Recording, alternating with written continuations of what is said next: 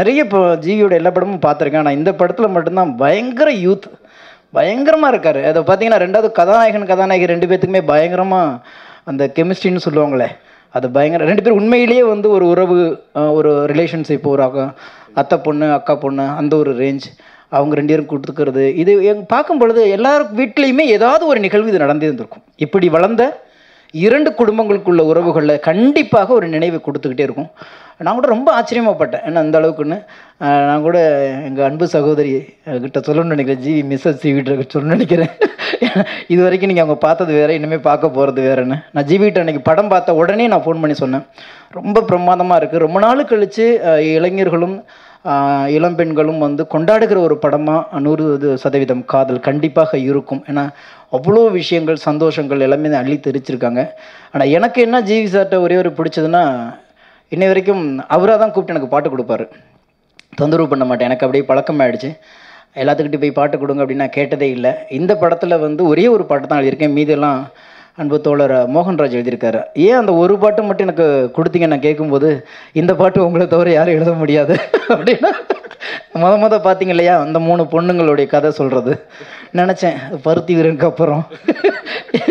மறுபடியும் நாட்டுப்புற ஏன்னா அதில் ஒரு சுகம் இருக்கும். அதுதான் வந்து நம்மளுடைய மண்ணுடைய பாரம்பரியம்.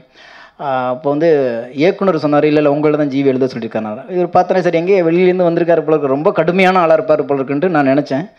அப்புறம் பார்த்தீங்கன்னா எல்லாத்திட்டையும் பேசும்போதே ரொம்ப கனிவாக பேசிகிட்டு இருந்தார். ஆனால் இங்கே வந்து இப்போ பார்க்கும்போது தான் சொல்லுது அவ்வளோ குறும்புத்தனம் இருக்குது சைலண்ட்டு கில்லராக இருப்பார் போல இருக்கு. அவர் டேரக்டர் அவன் உதயகுமார் அண்ணன் சொல்லும்போது பார்த்தா இவ்வளோ பெரிய ஆளா நீங்கள் அப்படின்னு சொல்லிட்டு.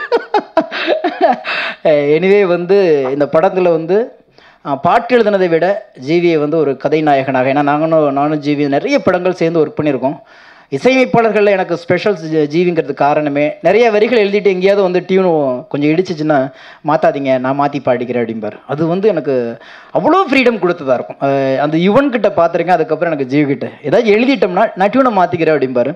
அதே மீறி என்னன்னு கேட்டிங்கன்னா ஒரு இசையமைப்பாளர் பாடலாசிரியர் இப்படியெல்லாம் சேர்ந்து நாங்கள் வேலை பார்க்கும் பொழுது பாடலாசிரியர்களுடைய வரிகளை பார்த்து அது வந்து பாராட்டி இது நல்லா இருக்குன்னு சொல்கிற இசையமைப்பாளர்கள் இந்த ஜெனரேஷனில் ரொம்ப குறைவு. ஆனால் ஒரு நல்ல வரி எழுதிட்டா போதும். ஊரெல்லாம் சொல்லிக்கிட்டு இருப்பாங்க. அந்த அளவுக்கு வந்து அவர் கவிதை நேசகர் தமிழ் நேசகர். சமீபத்தில் மதுரை ஏர்போர்ட்டில் வந்து அவங்கள பார்க்கும்போது சைந்தேவியை பார்க்கும்போது கூட என்ன பாட்டு எழுதுனீங்க சூர்யா படத்துக்கு? புலம்பி தள்ளிக்கிட்டு இருக்கிறாரு. அப்படியே அந்த பாட்டில் அப்படின்னாங்க. அப்படின்னா அந்த அளவுக்கு ஒருத்தர் இருந்தாலும் இல்லைன்னா கூட நல்ல விஷயங்களை ஆராதிக்கிற ஒரு இசை கலைஞனாக ஜீவி இருக்கிறாரு. அதை விட இன்றைய இனிமேல் வந்து இந்த இளைஞர்களுடைய இதயத்தில் சிம்மாசனம் போடுகிற ஒரு மிகப்பெரிய வேலை இந்த படம் செய்யுங்கிற நம்பிக்கை எனக்கு. ஏன்னு கேட்டிங்கன்னா நான் நிறைய உறவுகளோடு இருந்தவங்க ஜெயச்சந்திராமா பேசும்போது அந்த பேரப்பிள்ளைகளுக்கு ஊட்டி ஒரு நான் பாட்டியெல்லாம் பார்த்ததில்ல. ஆனால் ஜெயச்சந்திராமாவை பார்க்கும்பொழுது எனக்கு இப்படி ஒரு அம்மா இருந்திருக்கக்கூடாதா? இன்றைக்கி அவங்க அவங்களுக்கு எனக்கு ஒரு சின்ன ரிலேஷன்ஷிப் இருக்குது அவங்க பையன் அமரீஷ் கூட ஒர்க் பண்ணும்போது காரக்குழம்பு பிரமாதமாக வைப்பாங்க. சொல்லிக்கிட்டே இருப்பேன். அங்கேருந்து பண்ண இது காரக்குழம்பு வச்சு வீட்டுக்கு கொடுத்தோன்னு போங்க அந்த அளவுக்கு பிரமாதமாக சமைப்பாங்க. அந்த தாய்மை பாசம் அது அப்படியே இன்றைக்கி பாட்டி அவங்கள பார்க்கும்பொழுது பேரப்பிள்ளைகளை எப்படிலாம் வளர்த்துருப்பாங்க. ரொம்ப ஆச்சரியமாக இருக்குது யாருமே வந்து கதைக்களத்திலேருந்து விலகி போகாமல் கதாபாத்திரத்திலேருந்து விலகி போகாமல் ஒரு குடும்ப நிகழ்வுகளை பார்த்த மாதிரி இருக்குது உண்மையிலேயே இதில் நூ காதல் மட்டுமே நூறு சதவீதம் இல்லை. அங்கே சிந்துகிற கண்ணீரும் அவர்களுக்குள்ளே இருக்கிற ஈகோ அதிலிருந்து அவங்க விலகி வந்தது. மறுபடியும் அந்த ஈகோ உடைச்சிட்டு ஒருத்தருக்கு ஒருத்தராக ஒரு கம்பெனியில் வந்து அவங்க விட்டு கொடுத்துட்டு இவனுக்காக அவளும் அவளுக்காக இவனை விட்டு கொடுத்துட்டு தெரியாதனமாக உள்ளுக்குள்ள பாசத்தை அடக்கி வச்சிருக்கிறது. எல்லா இடத்துலையுமே ஹண்ட்ரட் பர்சன்ட் ஃபில் பண்ணியிருக்காங்க. ரொம்ப பிரமாதமாக இருந்துச்சு அந்த படம். எனிவே இந்த மாதிரி படங்கள் வந்தால் தான் இளைஞர்களை மா மீண்டும் வந்து நம்ம திரையரங்குக்கு இழுக்க முடியும்.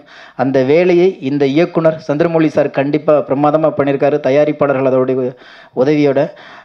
இது போல் எப்போதுமே மெலோடி சாங் கொடுத்துக்கிட்டே இருந்தீங்க ஜிவி சார். என்னமோ இந்த படத்தில் எனக்கு ஒரு கமர்ஷியல் சாங் கொடுத்துருக்கீங்க. மறுபடியும் மெலோடி சாங்லாம் கூப்பிடுங்க கூப்பிடுங்க கொடுங்க. அதுக்கப்புறம் வந்து மோகன்ராஜ் பிரமாதமாக எழுதியிருக்காரு. ஏன்னா எப்போதுமே சமகால கலைஞர்களை பாராட்டுவது தான் ஒரு கலைஞனுடைய அங்கீகாரமாக நான் நினைப்பேன். ஏற்கனவே ரெண்டு மூணு படத்தில் நாங்கள் சேர்ந்து எழுதியிருக்கோம். இந்த படத்திலும் நல்ல பாடல்கள் கொடுத்துருக்காரு. கண்டிப்பாக வெற்றி அடையணும்னு எல்லாம் வல்ல இறைவனை வேண்டி விடைபெறுகிறேன். நன்றி வணக்கம்.